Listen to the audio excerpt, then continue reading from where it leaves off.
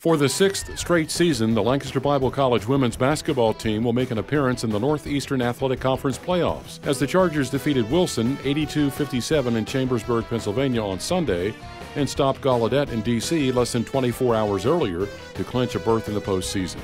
The Chargers are now 15 and 5 overall and 14 and 1 in NEAC play.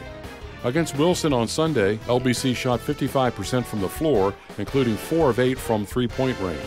Caitlin Hickey finished with a game high 22 points on 9 of 16 shooting. At Gallaudet, the Chargers overcame a slow start and a hard-working Gallaudet team to down the Bison 61-54 Saturday.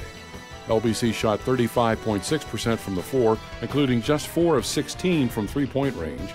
Caitlin Hickey led the Chargers with 15 points, 6 rebounds, 3 blocks, and 2 steals. Chrissy Pennell added 14 points, 8 assists, and 4 steals. Lancaster Bible hosts Penn State Abington on Wednesday at 5:30 p.m. Details on these events and more sports news at lbcchargers.com.